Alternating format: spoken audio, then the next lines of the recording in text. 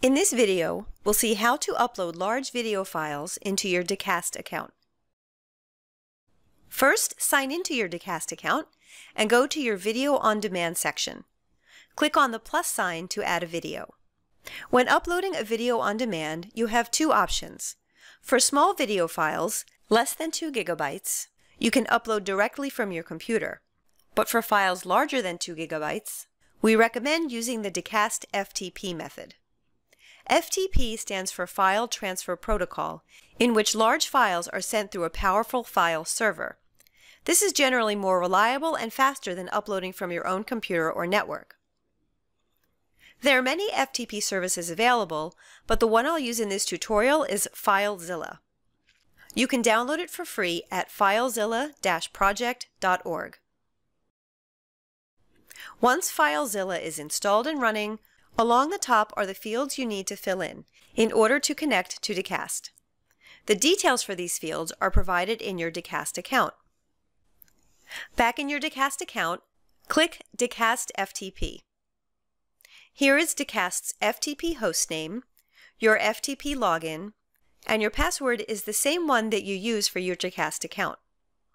The hostname should be storage.ftp-auto www.dacast.com.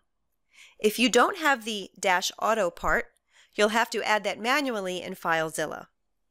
I'll open FileZilla and copy and paste to complete the login fields. The port field can be left blank.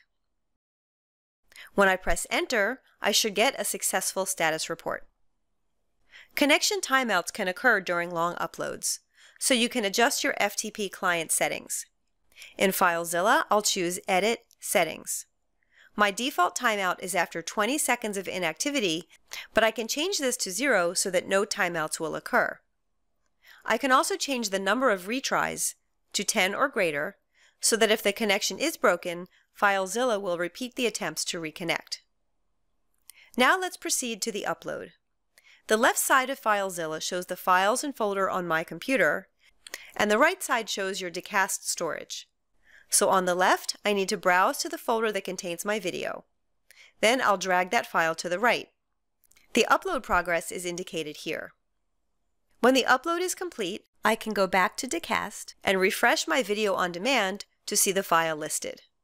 Now that your file is uploaded, here's how to share it. Click the video name to see its details.